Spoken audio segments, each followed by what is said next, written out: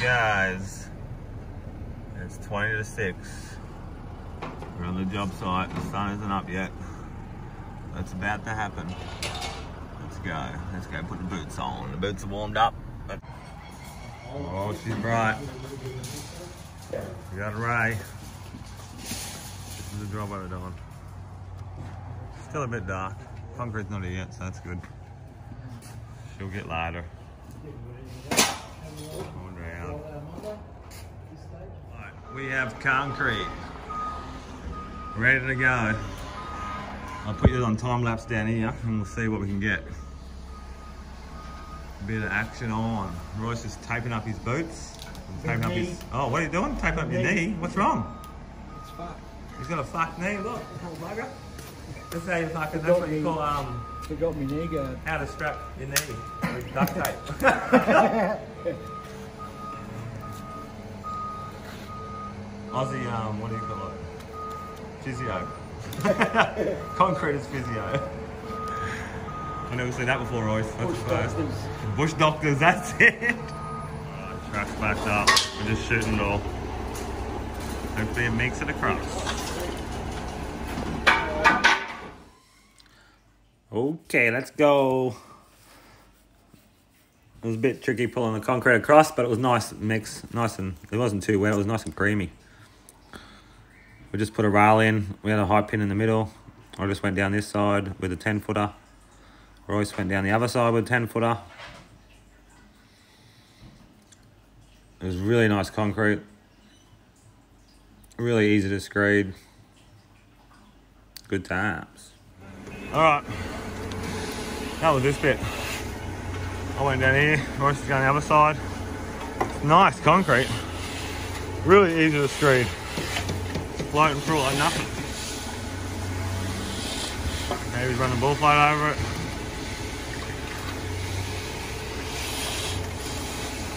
Nice to bull float, Dave. Nice to bull float. Yeah. Yep.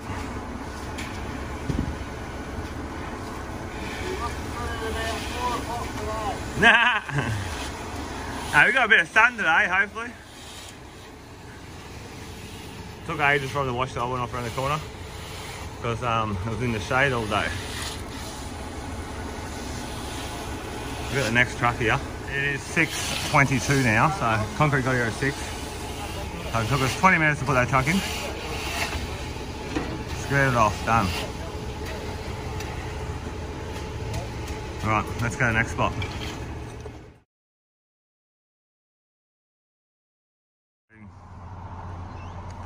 Waiting for the next truck now.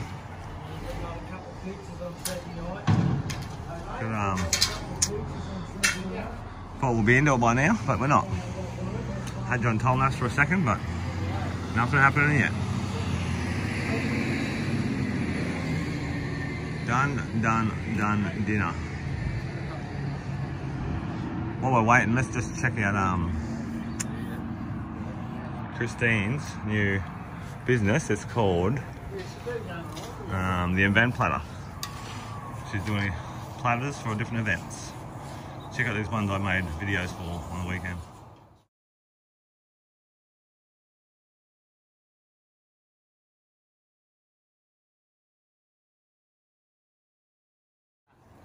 Alright, hope you enjoyed that. Alright, Maddie's on the sticky. Nice, Maddie. When it's windy, it's really hard to do. Yeah. Beautiful. That's it. Done. Just getting the bull float lines out there. You nearly hold it as flat too, mate. You nearly trying to hold it as nearly as flat it just doesn't dig in. Yeah, beautiful. I love this mud. This is like American concrete or something, eh? This mud's like American concrete. Soup and creamy. Easy time. Action on.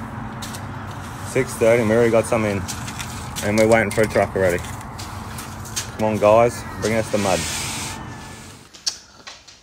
Alright, we're just waiting for the truck. So Royce put a little bit of a more of a pad in. So we can screed a little bit more.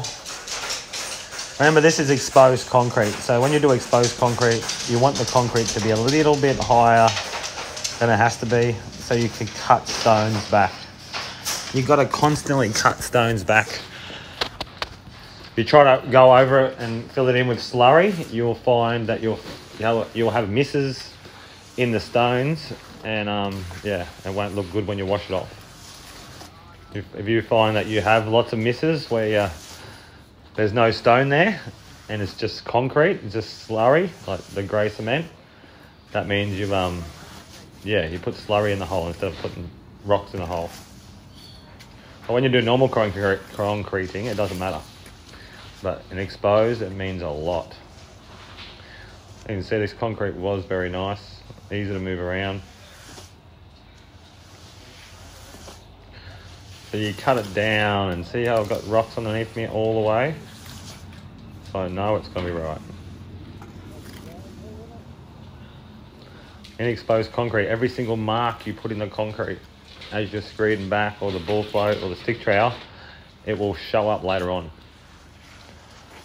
So you make sure. See I'm putting the mud back in my, where my feet are and it's a bit higher than it has to be.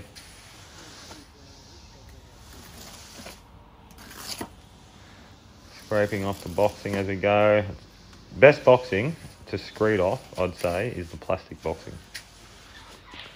The timber boxing could have little bits of splinters in it and shit and you bounce up and down on it. But the plastic boxing, and just the screed just slides over it. So still a little bit high there in the middle. Ray's pulling back for me. Old Ray, he's 62 years old. He's awesome. And Johnny, he was pulling back for me today too. All right, tips for now. Put the screed on the edge of the concrete too. Don't put it in the slab. Just made a pad up. Oh, I'm still waiting too. Maybe not an hour and a half now, Johnny.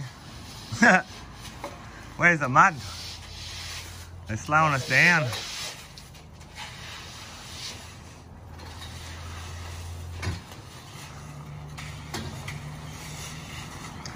Beautiful. Alright, we'll wait for the next truck and we'll get this on time lapse over here. All right, the truck finally turned up. So we just put out the concrete again. We got a little bit of Abelflex against the wall there, so Royce magged it up. I just screwed it back towards there. We got height pins in the middle for our heights. That bit over at the back there actually falls back down and goes flat again. I end up screeding the rest of it. Royce and Dave are on the stick trowel and on the bull float. Now I'm on the 12 footer coming down the main part of the driveway. As you can see, Dave and Royce, uh, like Dave likes to bull float it and then he likes to stick trowel the lines out like you've seen Matty do before. This whole job's just going to be stick troweled and then sugared. It's five minutes to eight. So it's taken us an hour and a half so far. We didn't have to wait for that truck before. But We would have it in, I reckon. And we're waiting for a truck right now. Boys got it all. Stick troweled, bull floated. Dave's into the stick trowel already, to finish it. All right, Dave? It's all good? We might, there's a bit of shit on that, there's a bit of shit on that. Dirty. But um, yeah, all good. Hope you guys are enjoying. Because I am. Nearly at the end. One more big truck to go. Let's go. All right, all right. We're on. Sorry I haven't signed on today. I'm just too busy, flat out, like every every other day. but um, hope you've enjoyed that time lapse so far. Hope you've enjoyed the last video. If you can subscribe, give us a comment, give us a thumbs up, and share one of the videos for us, that would be awesome. At least give us a thumbs up. Come on, guys. There's over 2,000 people watching. I get like 100 thumbs up. Come on. Doing this all by myself, working, making videos for you guys to watch. All you can do is give us a thumbs up. Come on. Anyway, we'll get back into it. It's going good. It's a smoko break. We're just waiting for the next truck, like we said. Anyway, thanks for watching. Right, today we've got two new spray bottles. They brought this one. I got one of these at home from Master Finish. They're pretty good. But we got this one from Tomahawk. I'm gonna test her out and see how she goes. Which one do you think's better? Which one would you rather? Okay, it is 9.30 and we've got it all in now. I just screwed all that off with the 12 footer. All the way. We've got a little door here. It's gonna go across the garage here. Haven't edged nothing yet. Haven't trowed nothing yet. Just bull floated and stick troweled the lines out. That's it. There's a bit of a V in there. Comes down that way and that way.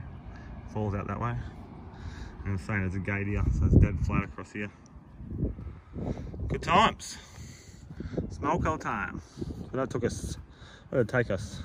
Three and a half, nah, three hours probably. But then we had to wait for an hour for truck, so. Hmm. Like, if all the trucks come at once, sometimes you can do it in an hour and a half, two hours. But when the trucks take so long to come, they break it up. It adds more time to putting the slab in. So um, yeah, you always got to allocate for that. Make sure your trucks back up like 20 minutes apart, 40 minutes apart, whoever's on the screed, whoever can do it the quickest. And um, you want to make sure that you don't do it too quick and the concrete's not ready yet. Because you're just sitting around and you make a cold joint anyway. So, hmm. all right, we'll get back into it. We'll go and test out that spray bottle, get it going. Time check, it's 10.30. And all this part is stick trout off now.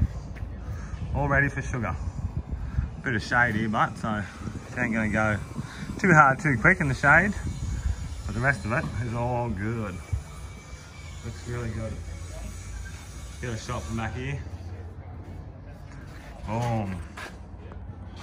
Boom. Massive driveway. Royce and um, Dave have been stick troweling. Nice stick troweling Royce there, mate. Beautiful. It's ready for sugar. What do you reckon? That's a concrete ninja's favourite drink. What? That's a good one. okay. We have put some two-stroke fuel in to the girl. Put some water in. Had to add up another hose up in there. Make sure you put that hose up in there in before you put the water in, because I did and it just leaked out. but anyway, we're learning as we go. That's what we do. All right, I'm gonna try to start her up and see what she does. Let's go. All right, here's a little clip of the Tomahawk spray bottle. Motorized one, two-stroke engine. It pumped out the sugar really quick. And it shoots off a nice fine mist. But if you want to see the whole video of the spray bottle, unboxing it and using it for the first time, there will be a video after this video on my channel. So check it out. I was very impressed with that Tomahawk. Awesome work. Never used a petrol spray bottle before, but um, it definitely works. And we don't have to wait to charge it up. Just throw some petrol in and away we go. And she's definitely got the power. We've got that other little one over there, and we didn't even use it. it just smashed it out so quick. Hey, Matty, better than pumping that fucking Yeah. little pump. Yeah, no sore arms now. No sore arms. Matty was filming there for me. Thanks, Matty. All right, we'll go back to the action. You know where it all is now. Everywhere. All the way to down here.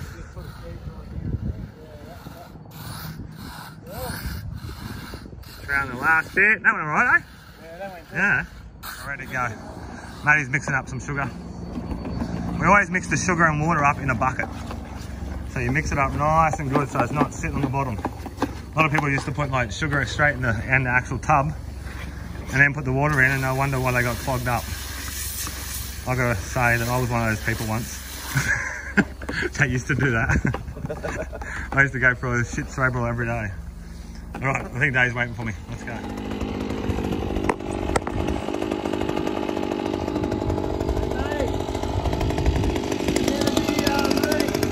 Yeah, yeah.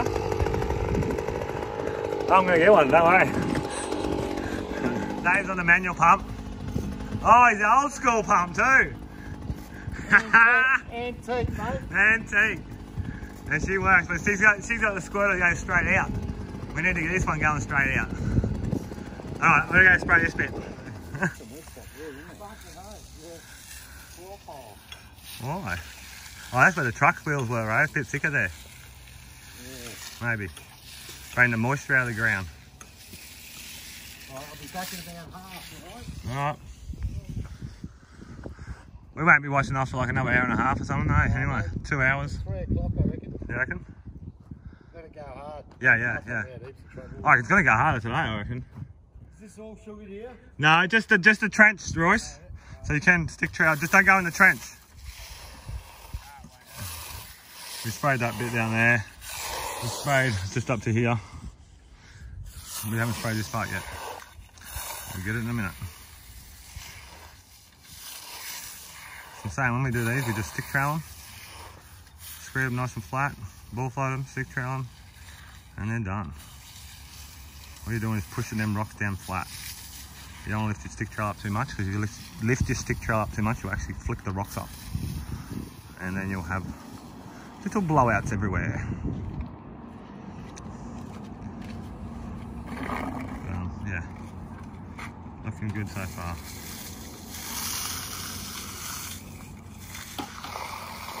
You want to see the whole video of the spray bottle, put a link in the bottom of this video. You can see me opening it and using it for the first time.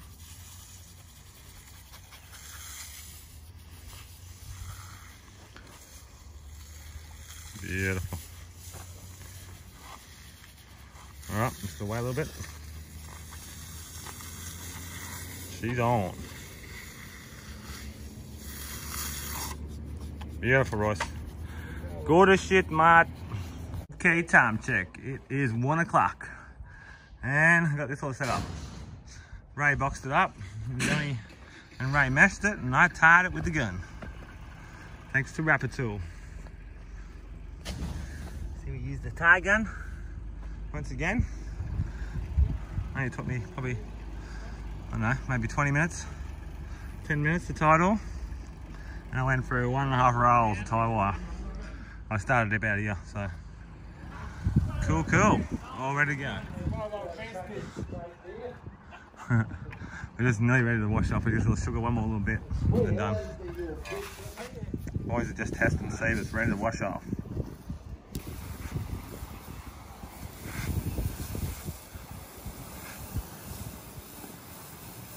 Nice.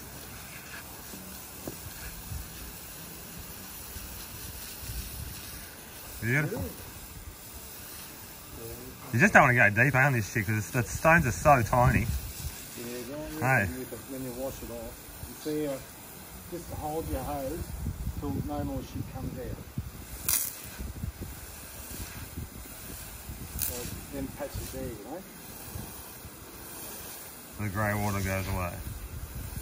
That's it, the grey water. Royce, you told me that one years ago. Then I just figured the acid gets it.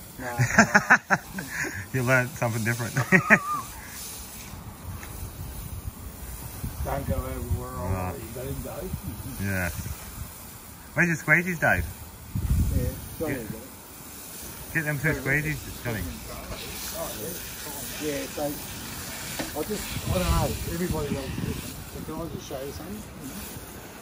Like, so I just hold on there till there's no more stuff that's cement coming off.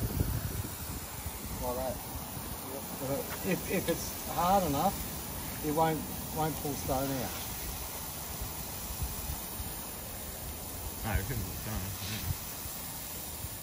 And, and you know what? When you drop, when it dries, the harder you can even have to wash. Yeah. Yeah, you told me that, Royce, years ago. Your acid will clean all that off, don't it? Nah, but it doesn't get these bits here, you know? Yeah, yeah. Yeah. All right, let's go. Yeah. Upper? Yeah, I reckon that's probably one of the hardest bits. You start on this side, really?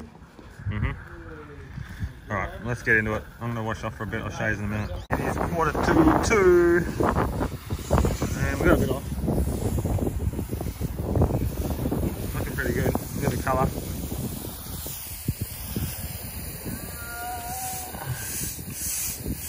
Like fucking bluestone, like cracker dust, and whitestone. Probably the cheapest exposure you can get, eh? This stuff compared to all the other stuff. Is Dave, it Dave? Is it cheap, this rock? No, it's no different than the others. No, yeah. the dearer. What? I think it was cheaper. All right, we'll show you when we're nearly more off. It's three o'clock and we got most of it washed off all the way down to there. We're gonna just wash off this bit right now. Let's go. All right, me and Dave are washing this little bit off. We end up pulling out two hoses. It was a pretty big driveway and it was going hard. You don't want to muck around when you're washing this stuff off with the sugar and water. You want to get right into it because you can lose it still. It makes if you don't lose it, you just got to scrub a lot more. Like this section here was in the shade, so we left it to right near the end. But like we say, the shade holds it back a lot. So you got to wait. She's done. The whole thing is washed off now. It's 200, about 230 squares or something. Dave reckons. It was, so pretty good. Hope you guys enjoyed. Right, I might send myself off there. That's the end of this video. It was a pretty big video. I'm pretty sure probably goes for about 40 minutes. There's so many different things in here. But I have got another video on the pump, so make sure you go and check that out. The spray bottle from um, Tomahawk. It was awesome. If you want to send me some more stuff, Tomahawk, send me some more stuff. Your tools are pretty good so far. I'll give you 10 out of 10 for that one. I'll definitely be using it a lot, and there's a lot of guys that want to have a go at it and want to suss it out because they want to get one as well. So, awesome work, Tomahawk. Thank you. Make sure to subscribe if you can. Give us a thumbs up and leave a comment if you like. I'll try to answer you. If you can give us a thumbs up, that'll be really good. More thumbs up, the more people can see the videos and stuff. So, if you give us a thumbs up, I'll be very appreciative. Anyway, enough talking shit, and I'll see you all tomorrow for this part. We'll be pouring this bit tomorrow, and it's all in the sun, so we should be able to do it really quick. All right, bye.